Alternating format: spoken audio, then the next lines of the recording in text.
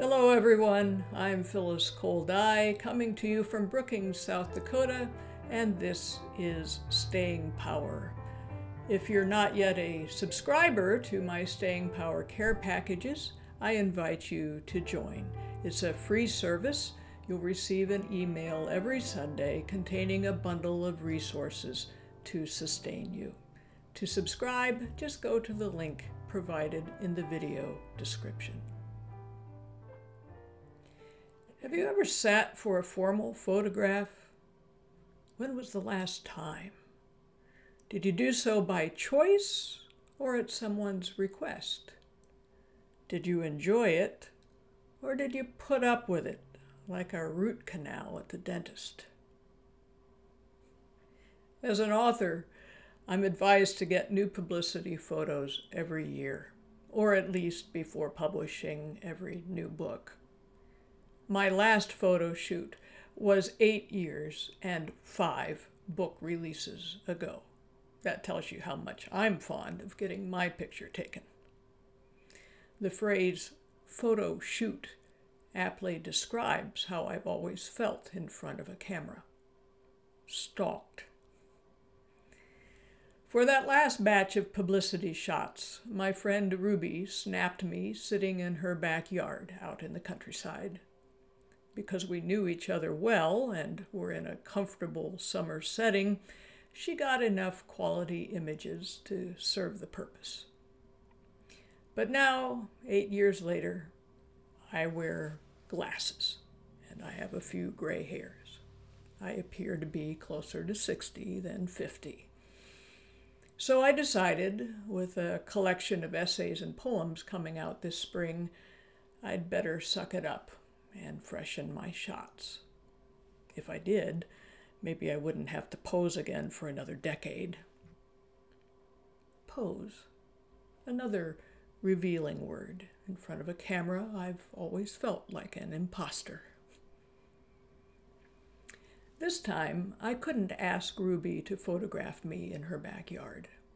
We weren't about to dress up in Arctic gear for a shivering session in the snow, so I hired Tammy, a professional photographer. She proposed a socially distanced shoot in her studio, complete with a stylist for my makeup and hair. Don't make me look like somebody I'm not, I begged when booking the appointment by phone. Oh, you'll be fine, she said with a laugh. Plan on about three hours. Three hours? Ruby and I had wrapped up in less than 30 minutes. Oh, how I dreaded that appointment. Last Friday, I arrived at the studio steeling myself to be made up and shot.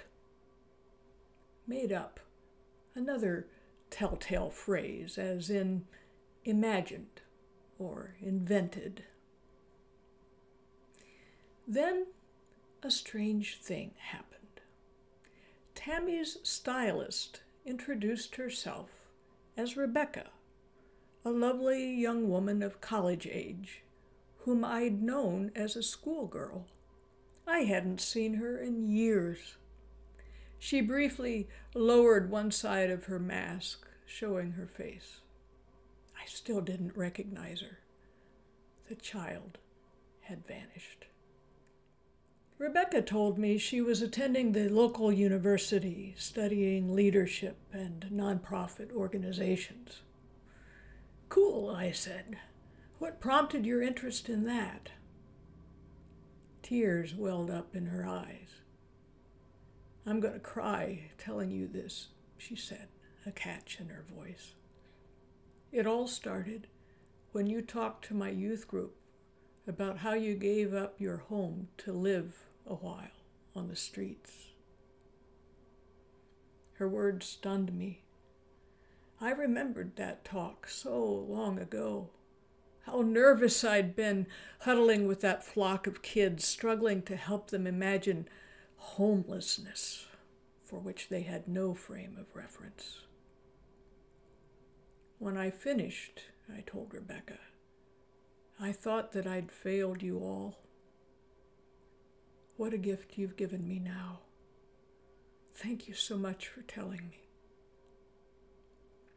Tammy, listening nearby, reached for a tissue. This is making me cry too, she said.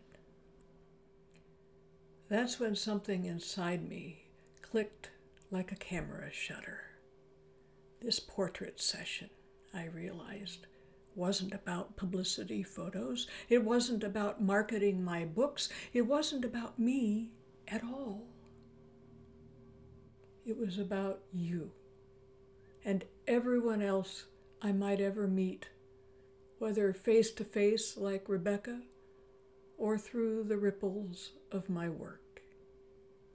The photographs that Tammy was about to take could be another way of saying, I care about you, of saying, I invite you to share this journey with me, of saying, let's talk, let's listen to each other, let's change the world together. The images could express all this and more if I let them. But I had to get out of the way. I had to wipe the slate clean of all that nonsense about how prying the camera was. I had to erase all that negative self talk about how I wasn't worthy enough to sit for a portrait.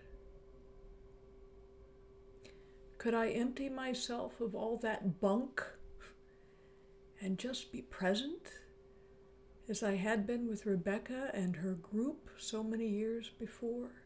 Could I trust Tammy to bring forward from me a glimmer of light that someone else might need to see? We began the shoot. I tuned into Tammy and her camera.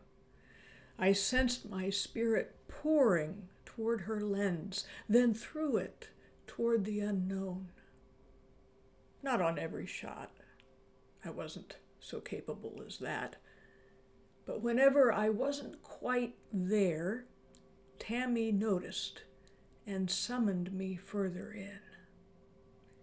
Our three hours together became a sustained lesson in mindfulness, the boundary between self and non self dropping away, rising up, dropping away again. Two days later, I received an email message from Diane S., a Staying Power subscriber who lives in Texas. I smiles, she said answering my question about what she wanted to carry forward from the pandemic. Never look anything but real.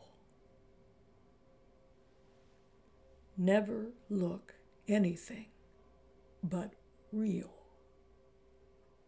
That's a pretty good motto for a photo shoot, don't you think? And it's a pretty good motto for life. Remember, folks, you're not alone. Deep peace and health to you. This has been Phyllis Cole Dai on Staying Power.